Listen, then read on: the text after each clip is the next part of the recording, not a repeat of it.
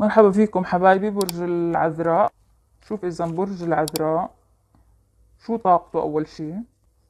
قبل فترة صار في عندك خراب صار في عندك آه، انكسار. آه، الآن يعني هاي الفترة رح تحاول طول الفترة الجاي وأنت ترمم آه، مثل ما بيقولوا جراحاتك. في شخص رح يساعدك في الموضوع. أنا بشوف هذا الكرت ممكن يشمل أي شيء العمل المال الحب العاطفة لأنه جامع كل إشي بنفس الكرت.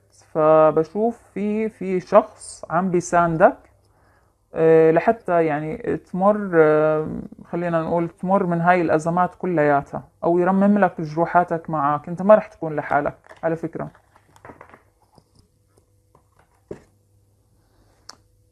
آه خلينا نفتح مثلا هون.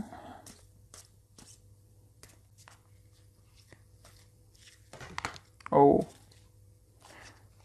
حبايبي يعني الكروت بيتغير معناها حسب إيش في بجنبها إيش في فوقها تحتها ف خلينا نشوف بشكل عام لبرج العذراء. شو مخبيت له؟ الكروت. زي ما قلت لك عم بترمم موضوع وعم تحصل على النتيجة اللي بدك إياها. إيه، روحك عم تتشافى جسمك عم يتشافى إذا كان في عندك. على فكرة عم بشوف في يا عملية جراحية مش عندك أنت عند شخص آه، بخصك. ولكن هاي العملية يعني اللي هي رح تمر على خير. لأنه مبين إنه في عنا يعني زي دعوات زي شي لحتى هذا الأمر يزول. آه، وعم بشوف الموضوع بتحقق يعني عم تتحسن الصحة لهذا الشخص. ممكن تكون أنت يعني بس الأكثر إنه من العائلة. عم بيعاني من شيء معين مرض معين عملية جراحية. آه، ف زي ما بين هون تحت هذا الكرت في نجاح بالموضوع والصحة رح تكون تمام لهذا الشخص. آه، يمكن يكون شخص عزيز عليك كتير. آه، ممكن الوالدة ممكن مش عارفة. بس آه، عم بي يعني بالعكس عم تتحسن صحته ويصير أحسن منك أنت. يعني إنه أحسن من الإنسان الطبيعي. رح يهتم بصحته كتير هو شخصيا. لا شايف هذا الموضوع عم بيتم على نجاح.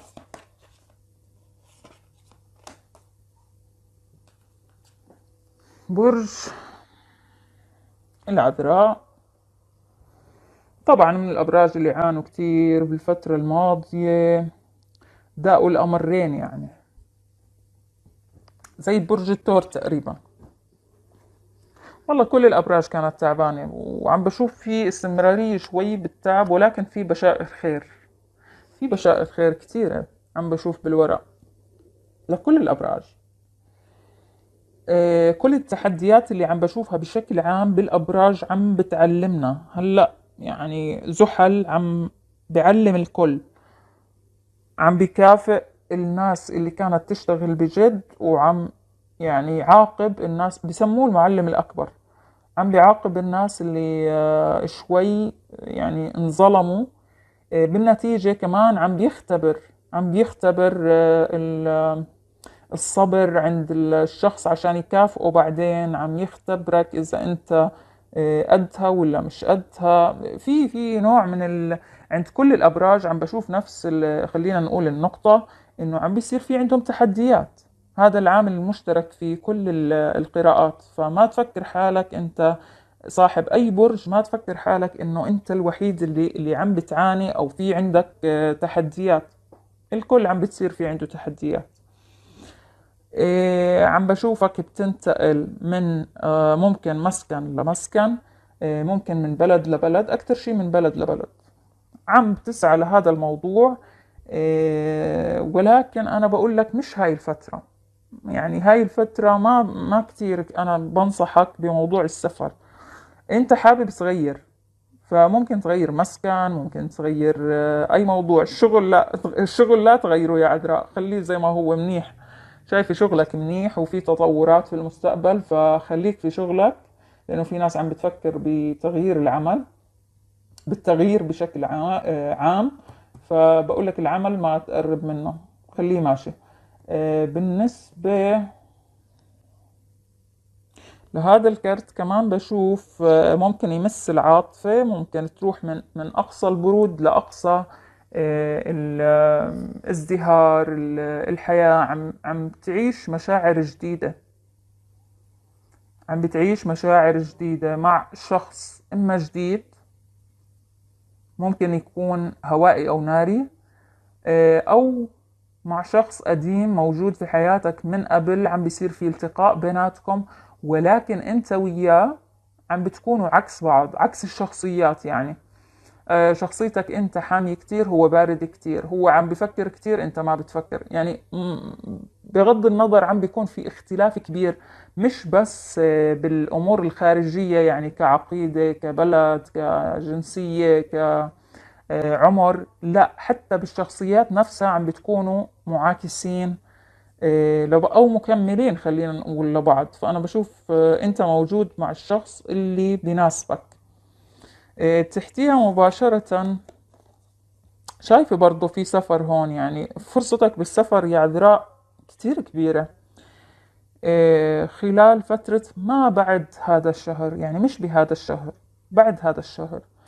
خلال هاي الفترة اللي إحنا عم نفتح عليها عم بتكون في أخبار حلوة إيه، عم نوقع على ورق عم بيصير في أشياء حلوة من ناحية السفر عم توصلنا تطمينات ولكن السفر نفسه راح يكون بعد هاي الفترة على الأغلب.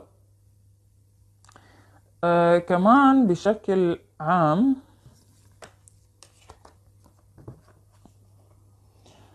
آه رح تواجه حدا إما بمحكمة بقضية أو أمر بتعلق بالمال عم بتواجهه إنك بدك حقك أو هو بده حقه آه عم تتع... يعني عم تحصل على اللي بدك إياه في هذا الموضوع عم تنتصر في هذا الموضوع. إذا كان آه، محكمة مثلا حضانة أطفال أو على مال معين آه، على شيء معين أي شيء في محكمة في قضايا في أمور مالية أنت عم بتكون أكثر يعني الكفة رح ترجح لإلك أنت.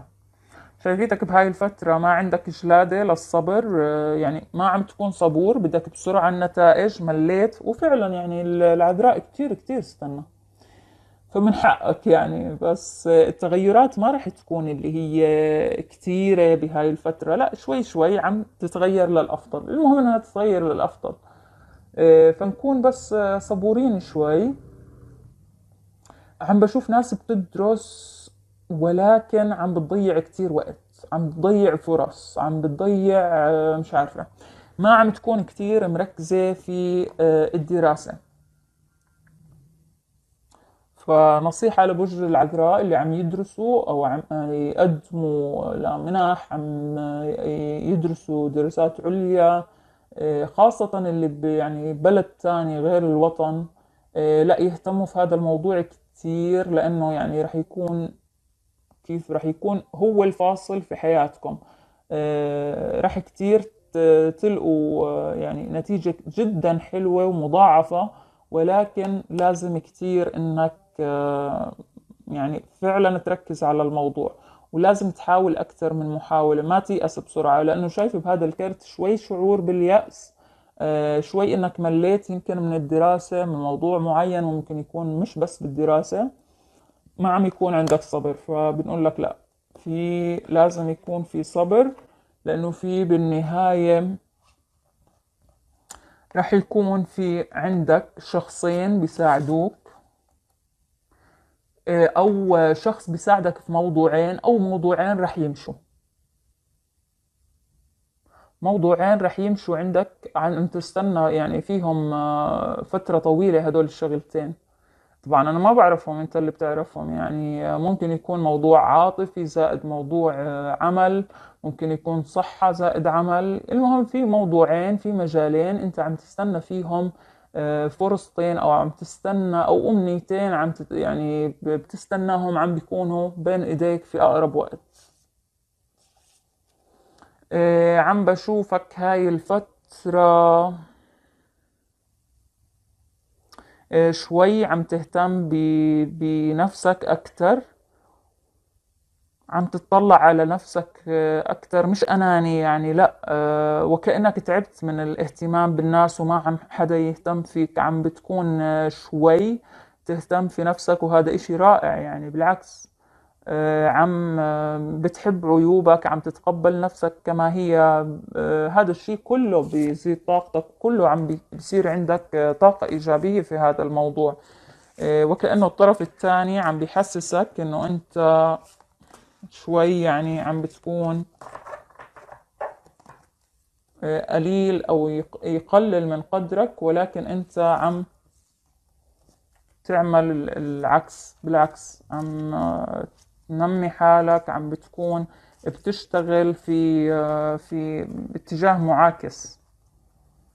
ما عم تحقق له اللي بده إياه. خلينا نشوف بالعاطفة شوي. لبرج العذراء.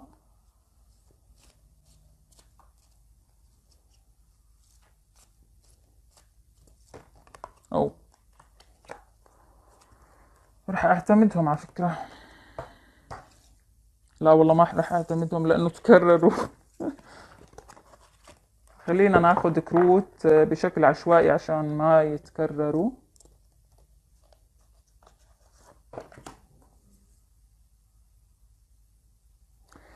شوف هون بشوف في عندك صراع مع الشريك. رح ينتهي هذا الصراع على خير.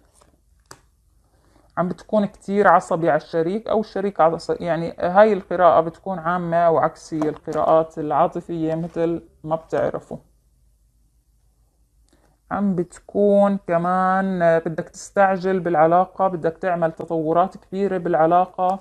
عم بتروح العلاقة لناحية جدية أكثر ما هي آه، كنت أنت مبلش يمكن في العلاقة كهيك آه، أنت أو الطرف الثاني. كعلاقة عابرة أو علاقة عادية ولكن عم بشوف تطور في هاي العلاقة. شوفوا هون العلاقة الثلاثية عم تنتهي في في طرف ثالث في عائق يمكن يكون في كذا. هذا عم ينتهي لأنه الكارت طلع مقلوب فنكون مطمنين إذا كنا عم شاكين أو كذا بالشريك أو بخيانة آه، الشريك.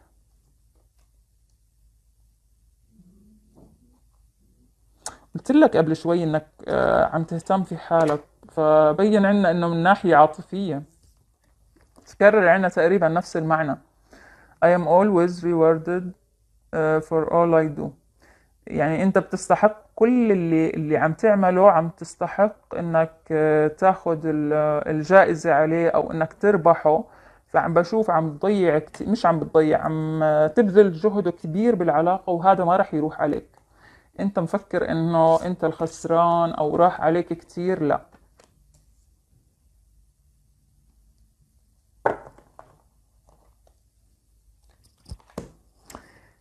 مبين كتير إنه شوف في هاي الفترة كان عندك آه، طاقة سلبية ما بعرف شو هي يعني آه، حسد عين سحر ما بعرف. هاي عم تنتهي هذا الشهر. ليش؟ لأنك عم تستشفي بإيديك التنتين عم بتحاول الاستشفاء عم بتحاول آه إنك تستشفي. شوف هاي الأمور كانت مسبب آه، كانت مسببة تأخير معين تأخيرات في الحياة في العلاقة العاطفية بما أنه فتحنا على العلاقة العاطفية آه، ولكن شوفوا إيش في ورا ورا الاستشفاء. في ورا الاستشفاء كتير أمور أو أماني رح تتحقق. وكأنه هذا الموضوع الطاقة السلبية كانت حاجز بينك وبين أمنياتك. آه، فبشوف أمنياتك ممكن تكون في الحب يعني أكثر من ممكن تكون في مواضيع تانية مع إنه إحنا فتحنا على القراءة العاطفية. آه، قلنا إنه جلد الذات أو التفكير في الآخرين رح يقل رح تفكر أكثر في حالك. آه، دائما كنت تسأل عن الشريك أو تهتم بالشريك زيادة عن اللازم. الآن عم آه، تنقلب الاية هو عم بيكون كتير معصب وسترس في الفترة الجاي. عم بحس إنه أنت عندك طرف ثالث ممكن. عم يشك شوي عم بيغار شوي وهو المطلوب. فعم بشوف كتير أنت عم تربح المعركة. آه، ولكن خلينا نقول آه، بسلاح ناعم بطريقة ناعمة. مع إنك بالماضي كنت تستنى الكارما كنت بدك آه، حبيبك أو شريكك يكون آه، خلينا نقول آه، في في ضائقة في مشكلة في كذا. فلا بالعكس أنا بشوف في التقاء بيناتكم. آه، هون بشوف العزاب. العزاب في فرصة حلوة يعني قدامكم. خاصة من برج آه، مائي ممكن يكون. آه، في ناس رح تترك القديم وتبلش قصة جديدة. تبلش قصة جديدة مع شخص جديد آه، مختلف تماما في في الصفات من عن الشخص القديم برضو يكون مائي. شايف هاي الحياة الجديدة رح تكون أحلى رح تكون فيها مشاعر أكتر فيها عدل أكتر. إذا هذا كان بشكل عام لل- للعاطفة. الطاقات زي ما أنتم شايفين في ترابية في نارية وعم بتكون كمان مائية. وفي برج الدلو كل شوي بيطلع لي. في عندك حبيبي كمان آه، انتصار بالعاطفة انتصار آه، مؤجل آه، لكنه مية بالمية رح يتحقق. كيف طلع مقلوب في تأخير بهذا الموضوع ولكن هو موجود. رح يتحقق. يمكن مش بهاي الفترة اللي إحنا قلنا عليها يمكن انتصار هو على طرف ثالث لأنه الطرف الثالث بين عنا بوضوح. فخلينا نشوف بشكل عام شو النصيحة اللي ممكن تقدم لنا إياها الكروت. لبرج العذراء.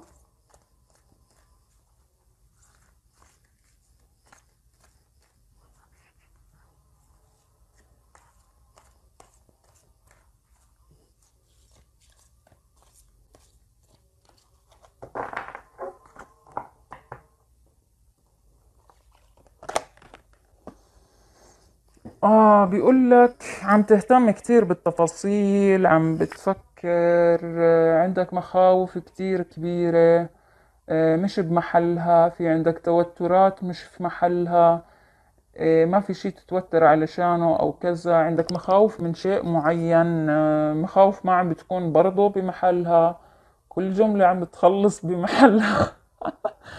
كتير قلت كلمة بمحلها. طيب فبيقول لك اطلع من هاي الطاقة اطلع. أو إنك كمان عم بتفكر بنطاق ضيق ضيق. عم بتفكر ما عم تشوف الحياة يعني اطلع برا وشوف البرسبكتيف شوف حياتك كلياتها اكتبها يعني مش تكتبها على ورقة يعني حاول إنك تشوف أبعد من هيك. خلينا نشوف كرت ثاني لا. للعذراء آه بقول لك هون إنه إلجأ للآخرين إلجأ للشريك. ممكن يكون عكسي كمان ممكن يكون بس هذا إلك مش للشريك. بقول لك ممكن تستعين بالشريك أو شخص مقرب منك لحتى آه، يعني لحتى تمشي بأزمة معينة لحتى تنهي أزمة معينة. في رح تكون عندك أزمة هيك آه، على الماشي آه، يعني ما مش لفترة طويلة. اللي هو موقف آه، مشكلة صغيرة كذا. المهم يعني موضوع رح يتم بالأخير رح رح تنجى منه أو رح تخلصوا على خير. بس بقول لك إنه في ناس ما تدق إيدك فما تطنش. ممكن الشريك عم بيطلب الرجعة أنت ما عم تعطيه إيدك أو ما عم تحاول فبحكي لك إنه لا اقبل. خلينا نشوف مثلا هدول إيش بيقولوا لنا.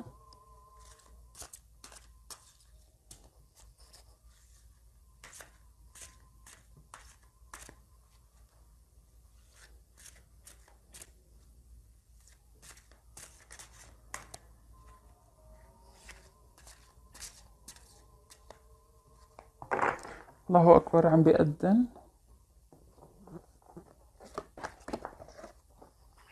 هون بحكي لك شوف هون أنا بشوف طاقة سحر. طاقة آه، اللي هي مش السحر السحر لا. آه، إنك أنت رح تكون ساحر. أنت ساحر حبيبك. آه، ساحره بأشياء كتير من برا ومن جوا يعني كشكل كمظهر ككيف تلبس بتحكي بتتصرف. عم بيكون كتير آه، معجب فيك أو ممكن يكون شخص جديد معجب فيك.